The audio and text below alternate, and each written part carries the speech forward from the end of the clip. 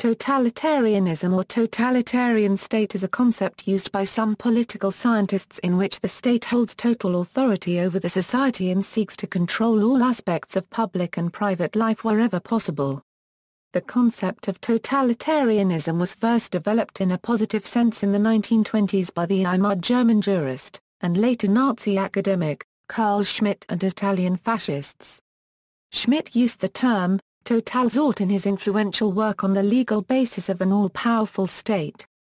The concept became prominent in Western anti-communist political discourse during the Cold War era, in order to highlight perceived similarities between Nazi Germany and other fascist states on the one hand, and Soviet Communist Party states on the other.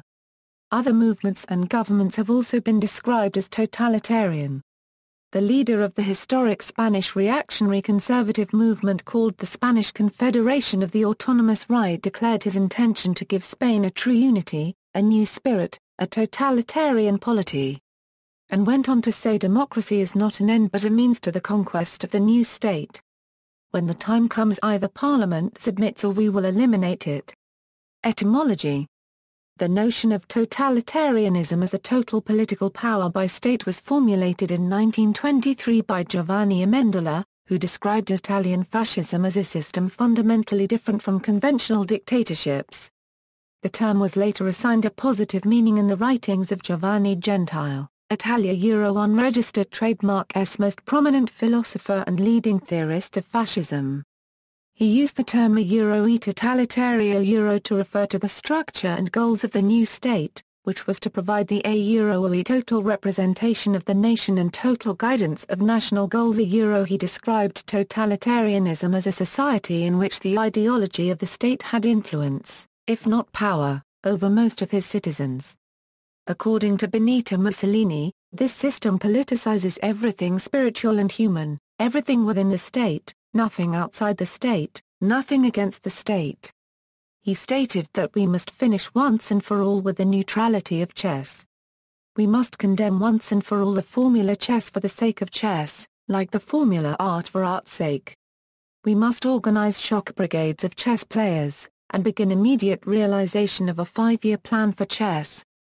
Early concepts and use, one of the first to use the term totalitarianism in the English language was the Austrian writer Franz Borkenau in his 1938 book The Communist International, in which he commented that it more united the Soviet and German dictatorships than divided them.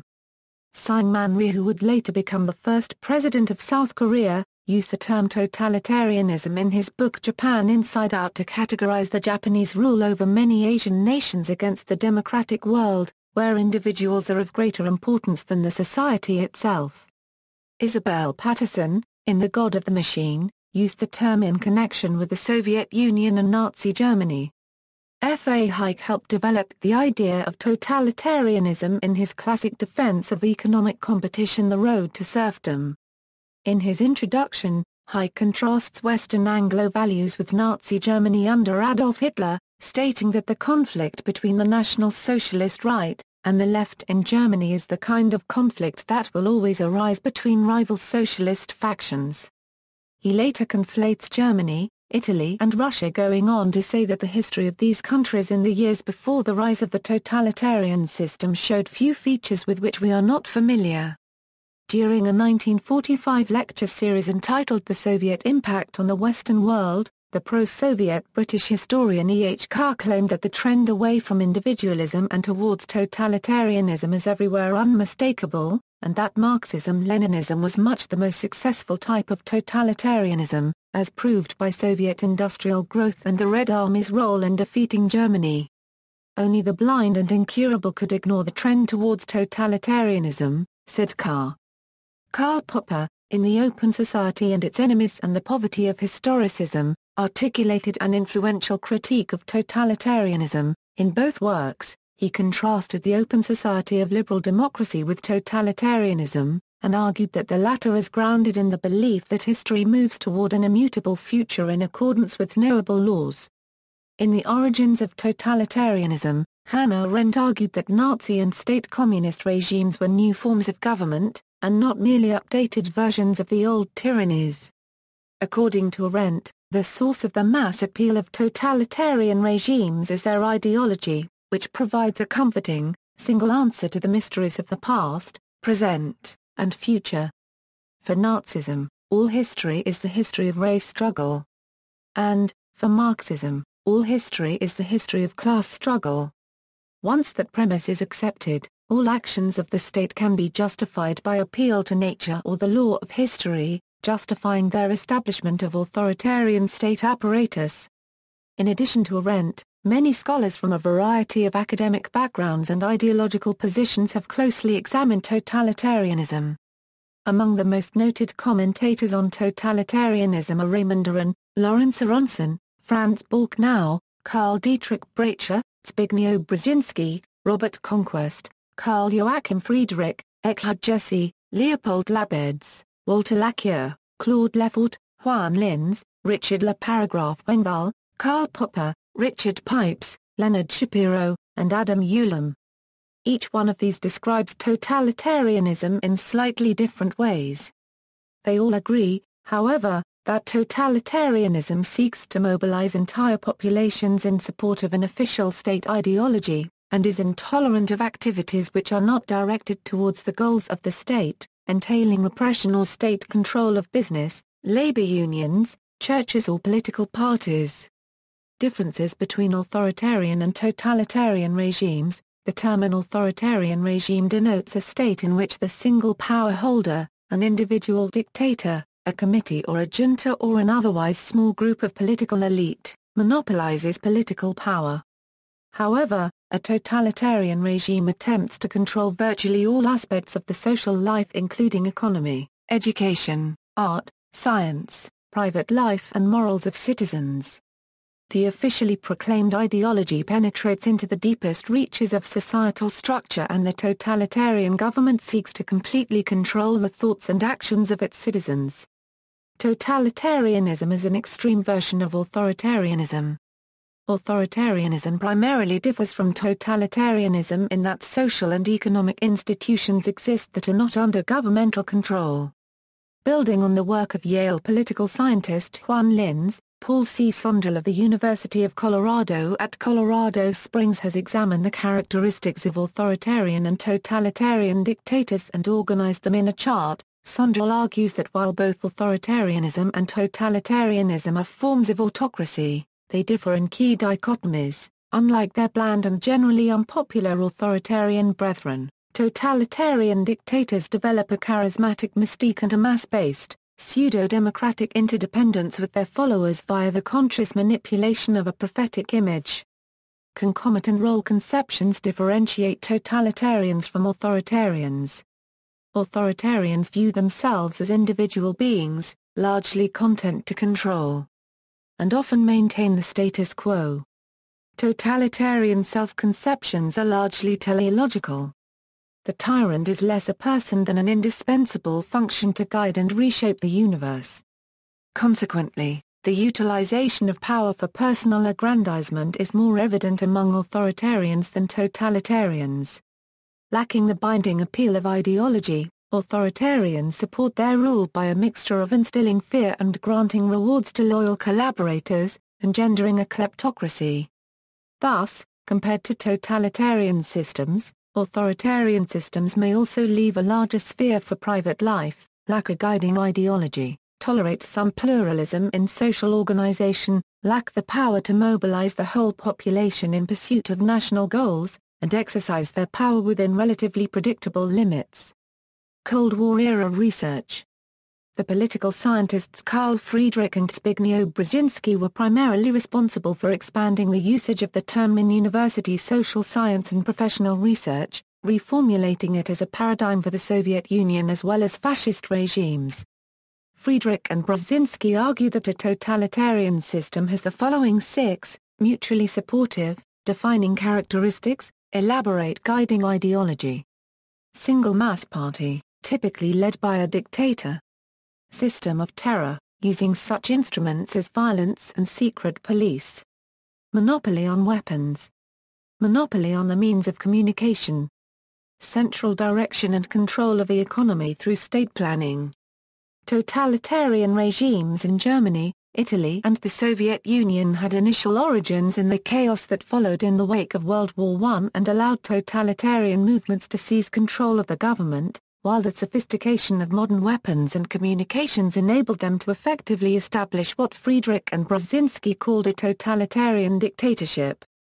The German historian Karl Dietrich Bracher, whose work is primarily concerned with Nazi Germany, argues that the totalitarian typology as developed by Friedrich and Brzezinski is an excessively inflexible model, and failed to consider the a-Euro or a revolutionary dynamic a-Euro that Bracher asserts is at the heart of totalitarianism.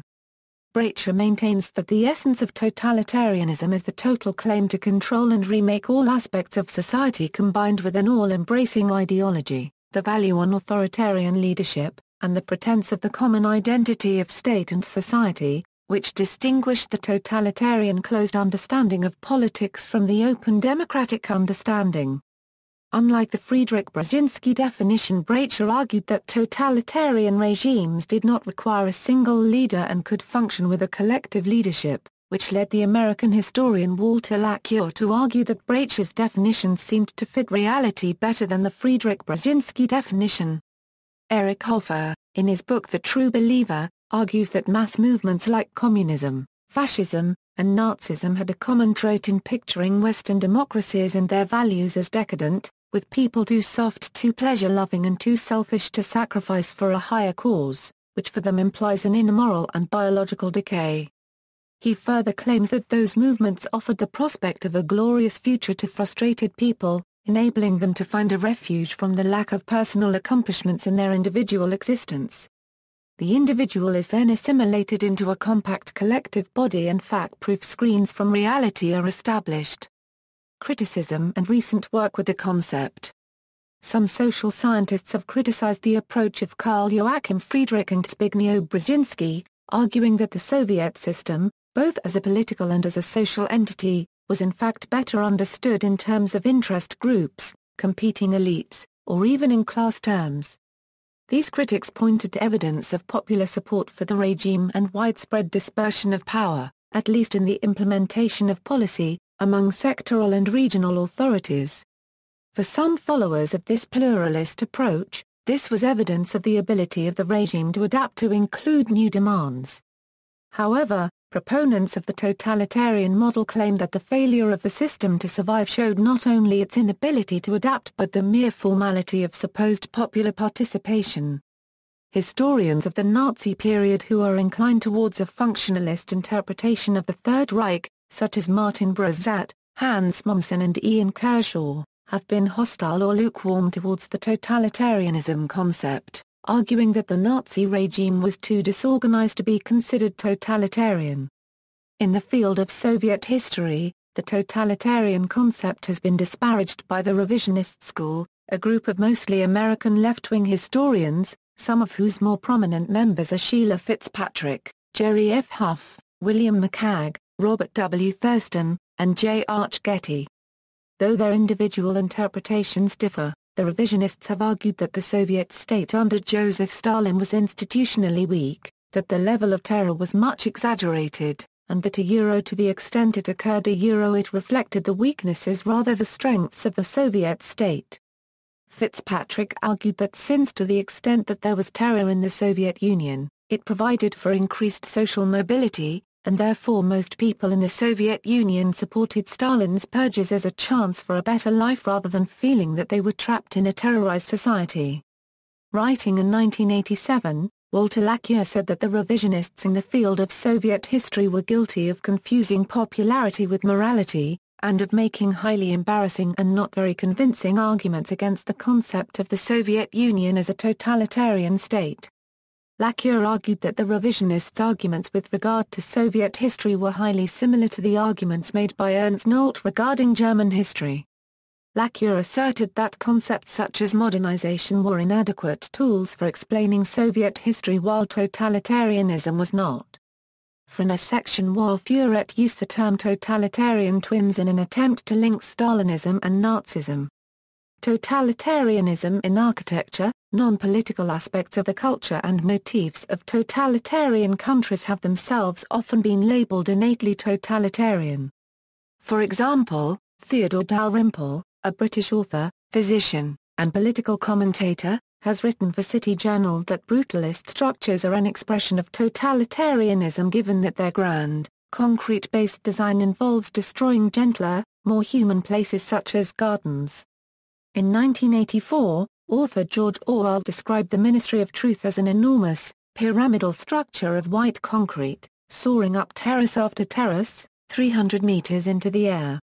Columnist Ben Macintyre of The Times has stated that that was a prescient description of the sort of totalitarian architecture that would soon dominate the communist bloc.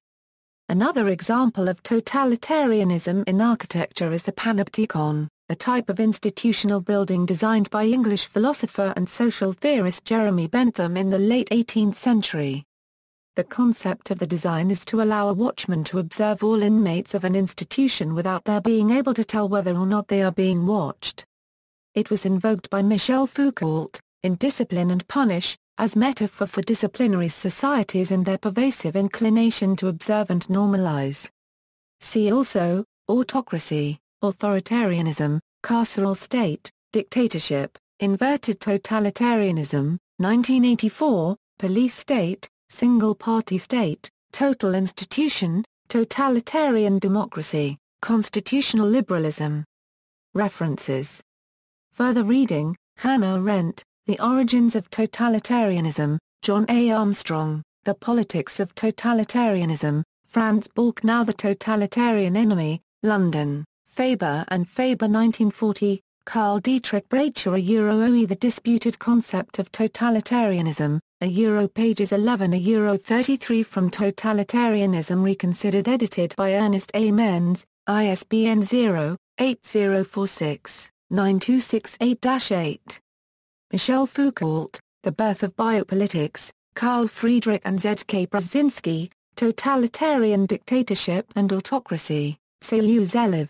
The Fascism, 1982, Guy Hermet with Pierre Hassner and Jacques Rupnik, Totalitarisms, Abbott Gleason Totalitarianism The Inner History of the Cold War, New York, Oxford University Press ISBN 0-19-505017-7, Jeane Kirkpatrick, Dictatorships and Double Standards, Rationalism and Reason in Politics, Walter Laqueur The Fate of the Revolution Interpretations of Soviet History from 1917 to the Present, London, Collier Books, ISBN 0-02-034080-X. Juan Linz and Alfred Stepan, Problems of Democratic Transition and Consolidation, Southern Europe, South America, and Post-Communist Europe, Baltimore, Johns Hopkins University Press ISBN 0-8018 5157-2.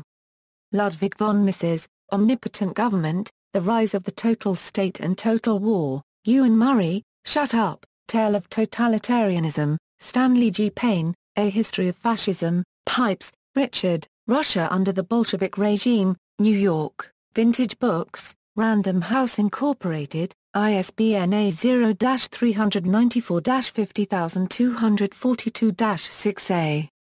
Robert Jorlin Lunaver's Des Totalitarismes, Rudolf Rocker. Nationalism and Culture 1937, Giovanni Sartori, The Theory of Democracy Revisited, Wolfgang Sauer, National Socialism, Totalitarianism or Fascism?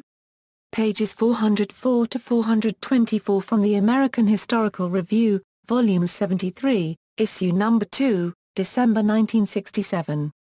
Leonard Schapiro, Totalitarianism, J. L. Talmon, The Origins of Totalitarian Democracy, Slavoj Angstrom 1 half year 3 quarters ek, Did Somebody Say Totalitarianism?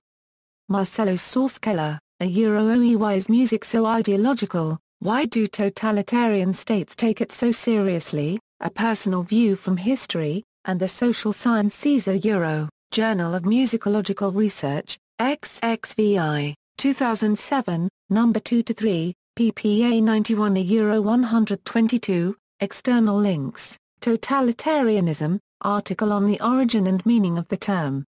gives many 20th-century examples and contrasts with authoritarianism.